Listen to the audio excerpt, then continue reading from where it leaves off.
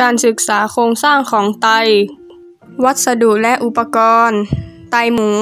ถาดผ่าตัด ครีมคีบกรรไกผ่าตัด มีดผ่าตัด แท่งแก้วโคนสาร แว่นขยาย และถุงมือยาง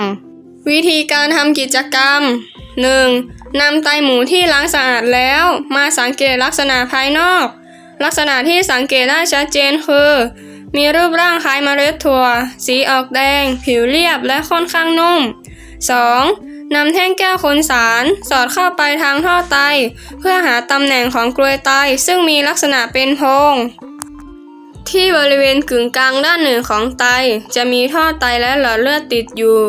คือหลอดเลือด renal artery และหลอดเลือด renal vein ซึ่งไตของเราไม่ค่อยสมบูรณ์ ได้มีหลอดเลือดบางส่วนหายไปนะคะ จึงไม่สามารถทำให้มองเห็นได้ชัดเจนนะคะ การศึกษาโครงสร้างภายในของไต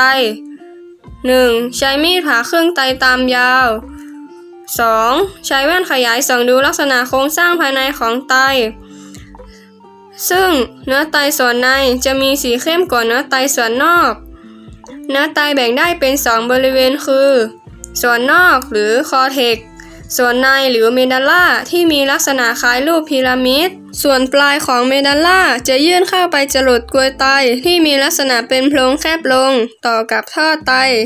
ภายในเนื้อไตแต่ละข้างประกอบด้วยหน่วยไตจำนวนมาก ซึ่งมองไม่เห็นด้วยตาเปล่า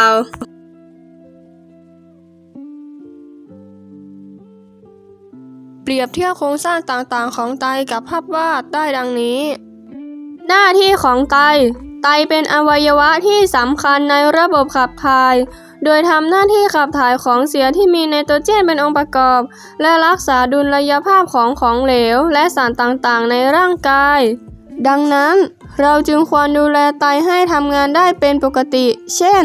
ไม่กลั้นปัสสาวะ